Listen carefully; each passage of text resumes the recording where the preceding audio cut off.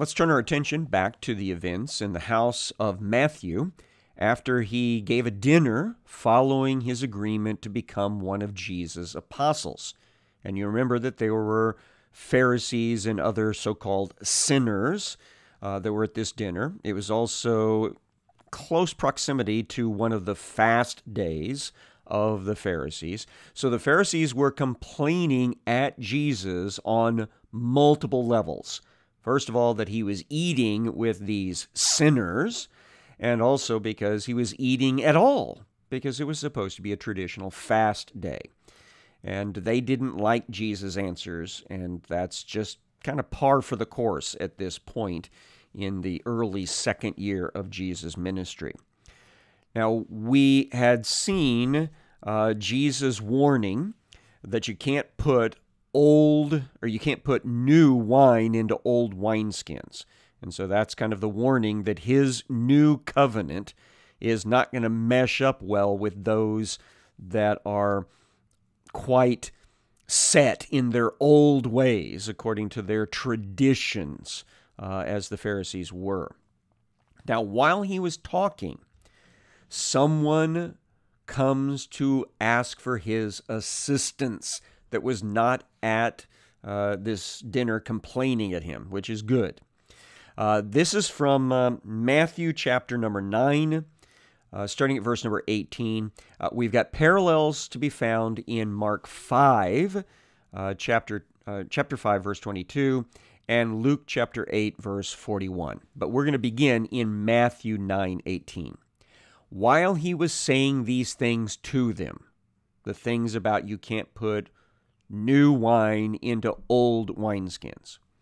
Behold, a ruler came in and knelt before him, saying, My daughter is at her end. That's the more literal wording in the Greek. Um, I know the English Standard Version says has just died, but we know that does not match the wording in Mark and Luke, uh, which say that she was at the point of death or that she was almost dead. Uh, so I want you to imagine that uh, what is being said here in the Greek is uh, to, to be better translated as she's at her end. So, my daughter has come to the end. Lay your hand on her and she will live. Now, that's pretty clear to me that they understood, the translators understood, that Jesus coming and laying his hands on her would give her life. Uh, and this guy doesn't seem to be looking for a resurrection just yet. Uh, rather, he is looking for healing. So, what happens? Matthew records that Jesus rose, that is, from the dinner table, and followed him with his disciples. So, the whole entourage of Jesus and the 12 and other disciples, including probably the women that we know are following at this time, this whole great big group gets up and starts going through the streets toward this ruler's house. Now, we know from the Mark account and the Luke account that his name is Jairus, or Jairus is the way you'll hear an awful lot of people say it in our English. Uh, he is the he is like the preacher of one of the local synagogues. So he's the one that would typically read and comment on the scripture each and every Sabbath day, and who would be probably in control of things like uh, the teaching of this of the younger men and women in the community to read and understand the Torah, understand the Tanakh, that is the Old Testament, uh, as it's as it's read by the Jewish people, and probably also uh, to be in control of um, who does the reading schedule and things of that nature uh, for the congregation of believers. Uh, but this guy has got a crisis that he wants Jesus to fix. And so while Jesus is on the way to his house, something else happens, which is not surprising because everywhere Jesus goes, there is a crowd seeking his supernatural intervention. Verse number 20 Behold, a woman who had suffered from a discharge of blood for 12 years came up behind him. Now, it is of interest to us that the young woman who uh, Jairus uh, is trying to get Jesus to come and heal is about 12 years old. So she is a young lady. This woman has had her particular illness for the same amount of time. Uh, and we need to describe this. It's not that she's got like an open wound, but it would appear that she has what a lot of people would refer to as um, spotting between her periods, uh, because that caused trouble for Jewish ladies. Uh, the way that the ceremonial cleanliness or ceremonial in, uh, purity for uh, relating to the menstrual cycle was concerned is that from the day blood first appeared, the woman was then to be counted as, quote, unclean, end quote. Now, that's not got anything to do with cleanliness. It's got everything to do with blood is the product of life. It is the it is the transport of life, and therefore it is to be held in high respect. So, in this instance, the word unclean should actually be thought more along the lines of off limits. So, she is not to be moving around in general society once she starts her period. And uh, then, once the last bit of blood happens, so the, the day that there is no flow of blood, she can start counting. That would be day one, and she has to go up through day number seven. And then on day number eight, she can return to her normal procedures, her normal routine. Now, just as a side um, for a side comment on this, uh, that sort of regulation would have uh, promoted a high pregnancy rate because since husbands could not engage in sexual relations with their wives until a week after their period was over with, uh, that's right around the time of ovulation uh, for the cycle. And so that's one of the reasons you got a high pregnancy rate in uh, the Jewish nation. Uh, but anyway, if a woman has spotting, then the count has to start all over again. And so this woman, for a period of 12 years, has never been able to reach the full seven day count in order to be counted as clean again. And so her whole life has been disrupted. Uh, it is possible that in this society uh, where divorce was so easy, that her husband may have divorced her. Uh, and so she may be on her own.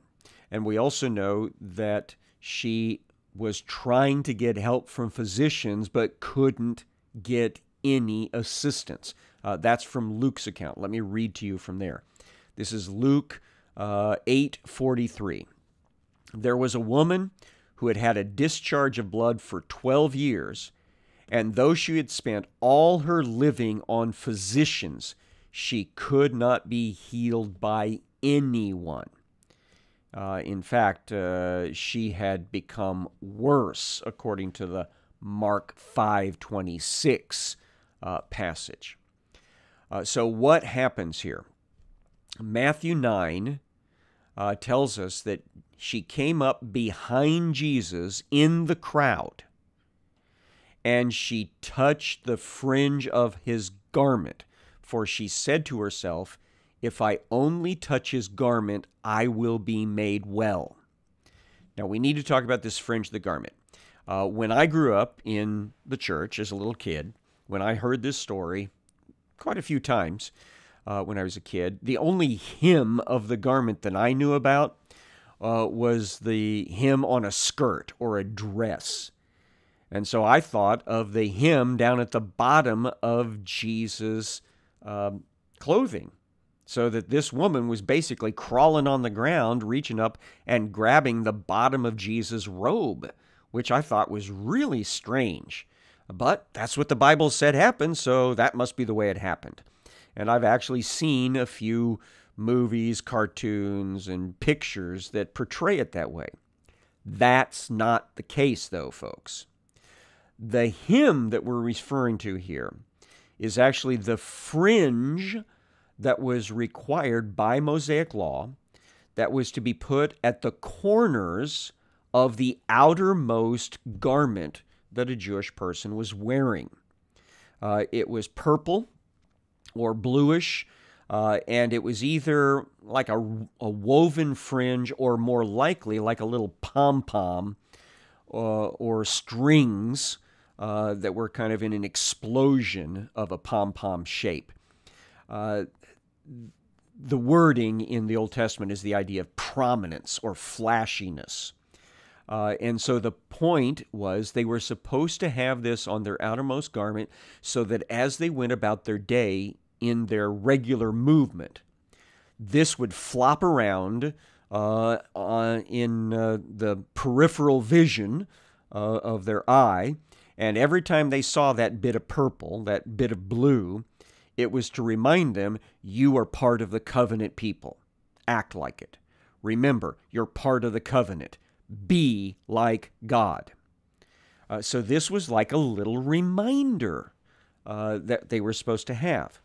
Uh, and so all Jewish people, all religious Jewish people had this little bit of flash, this little bit of purple uh, that would have been up probably more like in the torso area.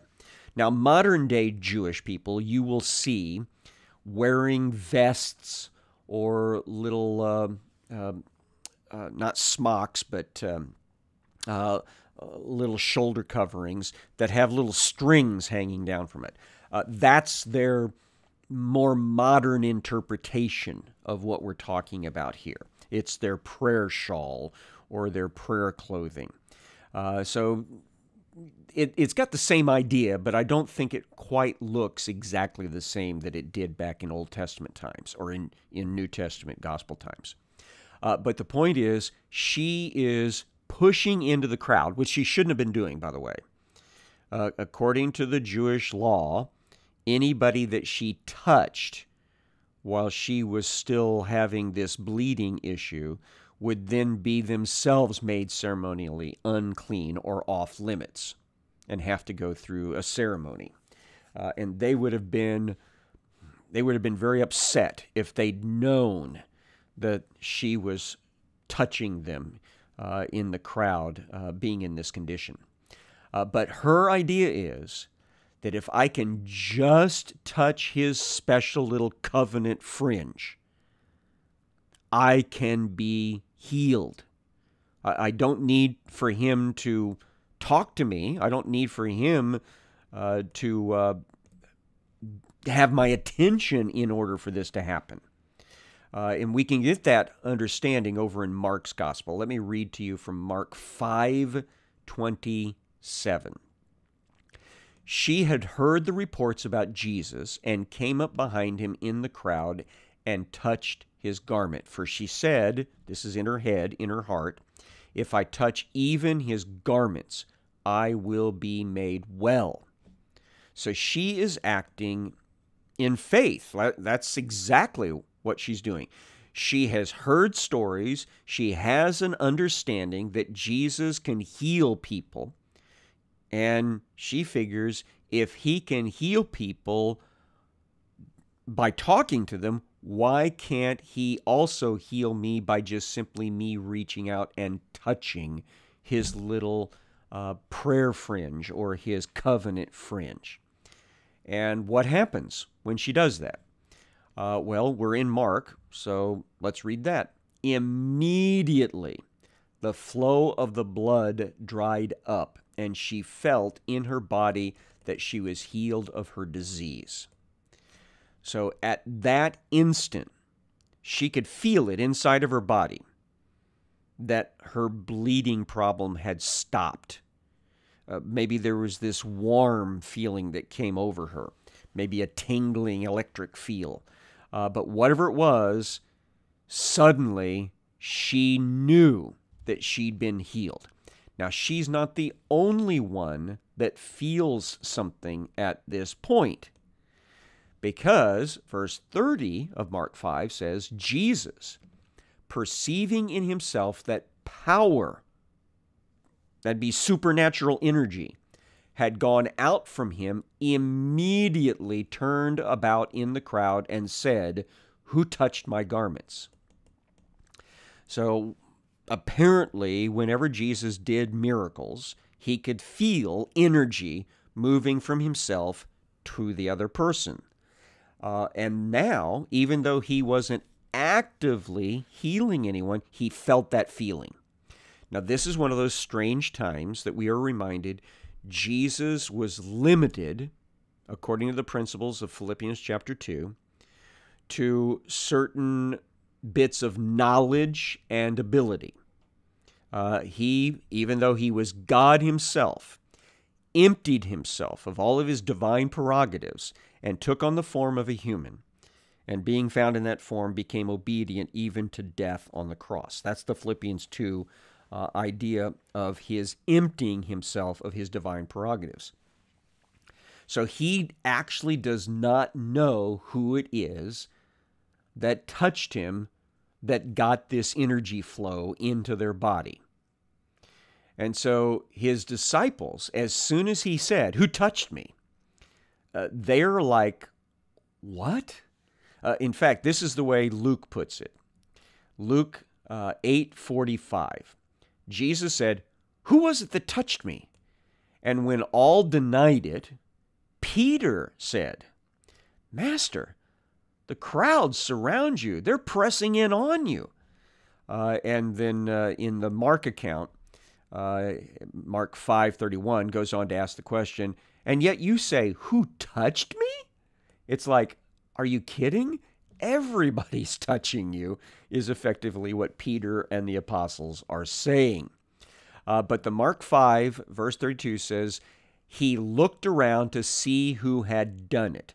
And the implication is he just keeps turning around and around and around, looking at all the different people in the crowd around him uh, because he wants to know who just got healed. Uh, here's Luke 8:45. Jesus said, "Someone touched me, for I perceive that power has gone out from me." And when the woman saw that she was not hidden, she came trembling and falling down before him, declared in the presence of all the people why she had touched him and how she had been immediately healed. So remember, this lady had intended to just come in, touch, be healed, and get out. But apparently, the moment she feels the energy flowing in and healing him, Jesus, within seconds, says, Who touched me?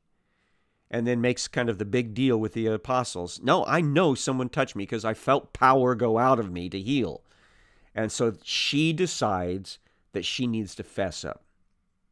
Now it scares her because, well, for some of the obvious reasons I was just talking about.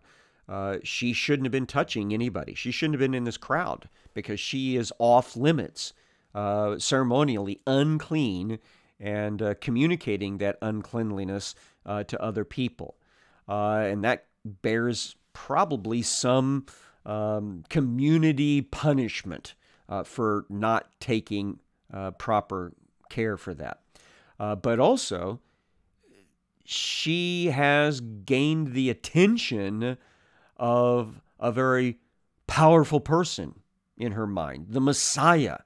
And what if he doesn't approve of this? What if he considers this um, some sort of assault upon his person or the theft of his power. And so she is scared, but she comes and acknowledges everything. And I, I, really think it would be interesting to hear the take of some of the people in that crowd as she's talking. Uh, how they might have been horrified about the idea. Oh my goodness, this woman touched me when she was unclean?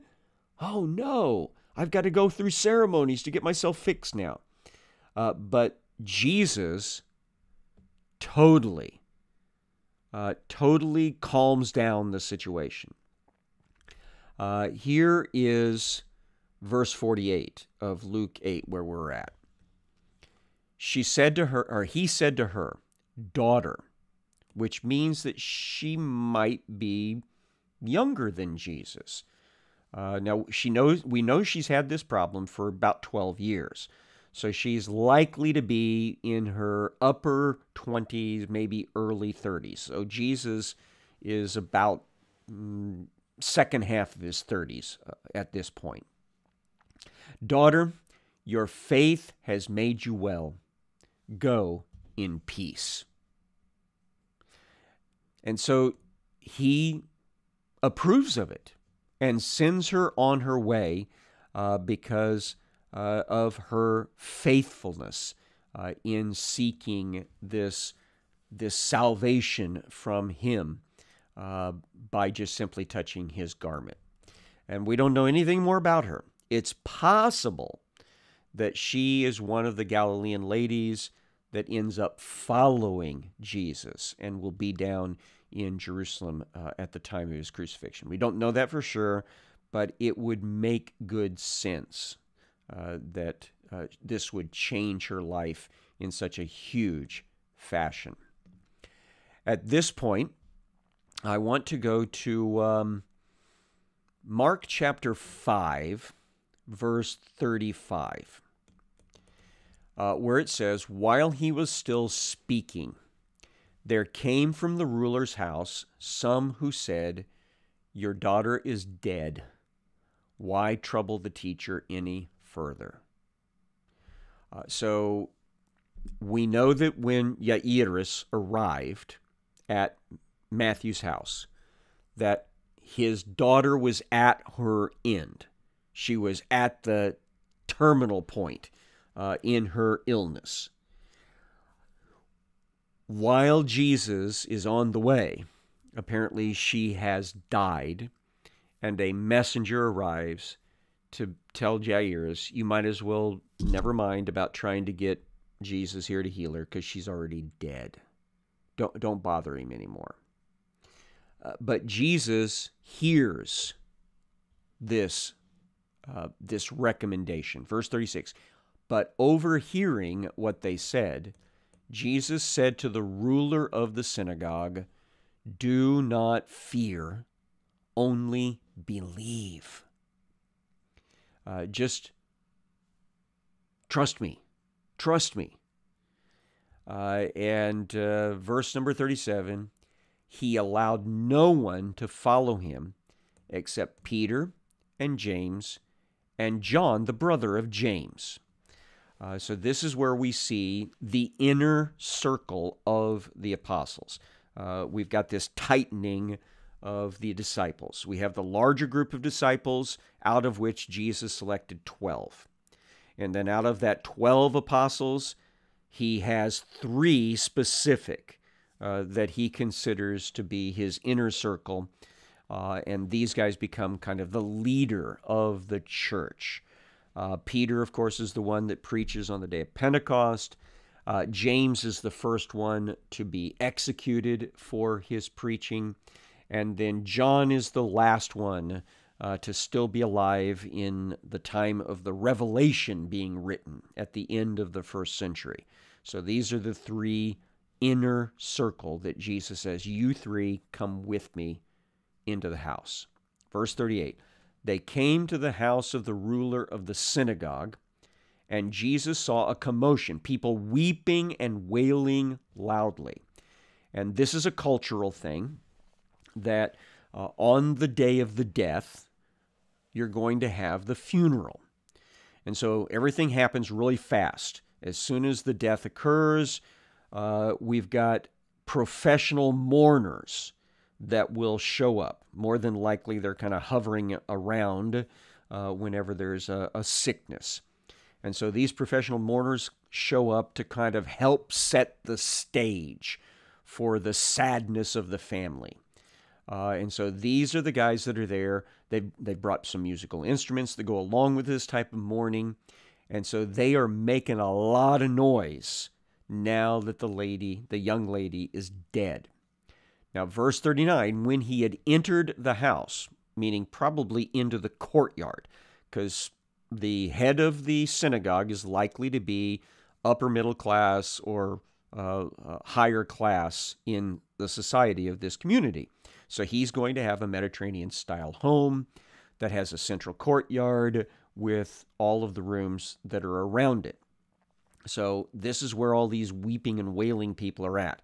So when he enters into that area, the inner courtyard, he said to them, Why are you making a commotion and weeping? The child is not dead, but sleeping. Now, Jesus uh, is using this term, sleeping, meaning she's just temporarily dead. I'm going to wake her up in a moment here. So, why are you going on and on about her being permanently dead and needing to be buried? Now, these professionals, of course, immediately start laughing and mocking Jesus. They laughed at him uh, because they knew she was dead, uh, because otherwise they wouldn't be here doing their services.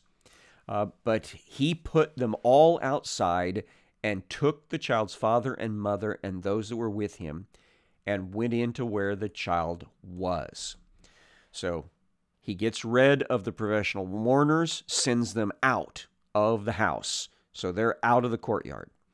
Uh, and then he takes Peter, James, John, mom and dad, and they go into one of the residence areas one of the sleeping rooms, the, the little girl's sleeping room, and they are all by themselves whenever Jesus performs this miracle of resurrection.